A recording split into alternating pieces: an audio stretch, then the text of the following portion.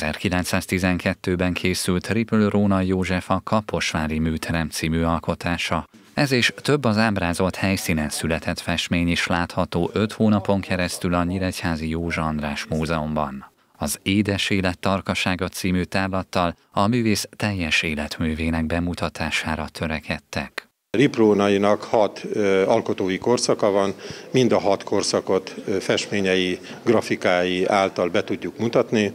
Ezt az ország magángyűjtőitől sikerült a műalkotásokat beszerezni.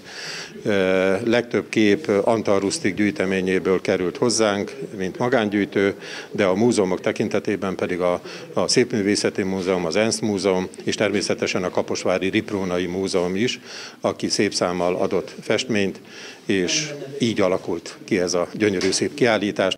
A jövő szerdán megnyíló kiállítás több mint egy éve szervezik. Végül 160 alkotás sikerült a városba hozni Budapest mellett például Kaposváról, Salgótarjánból és Székesfehérvárról. Ezeken keresztül ismerhetjük meg a magyar festőművészet első modern mesterének színes és változatos világát, többek között posztimpressionista és szecessziós stílusban. Ettől a tárlattól is azt várják, hogy sok látogatót vonzon a múzeumba és a városba mivel lehet behozni, különösen a fiatalokat, a diákokat is.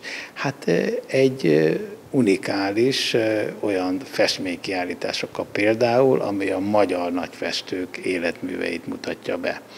Ilyen volt ugye a Munkácsi 50, mondjuk előtt kezdődött a szeúzókincsekkel, aztán jött a Színyei Merse kiállítás, közben volt a jégkorszak és egyéb más nagyon érdekes kiállítások is, most pedig a riprónai. Ehhez az infrastruktúrális hátteret is megteremtették. A régészeti raktárhelyén egy 240 négyzetméteres kiállítótermet alakítottak ki, amely a két korábbi együttes méretét is felülmúlja. A március végéig látogatható kiállítás biztosítási értéke mintegy 4 milliárd forint, ideje alatt pedig fokozottan figyelnek a biztonságra, egy teremben egy időben legfeljebb 25 ember tartózkodhat, a tárlatvezetések között pedig szellőztetést végeznek. Az érdeklődők egy internetes felületen regisztrálhatnak, ezt több mint 300-an már meg is tették. A festmények mellett pedig emléktárgyakat is megtekinthetnek és vásárolhatnak, a képeslapoktól kezdve a kulcstartókon át az egérpadokig.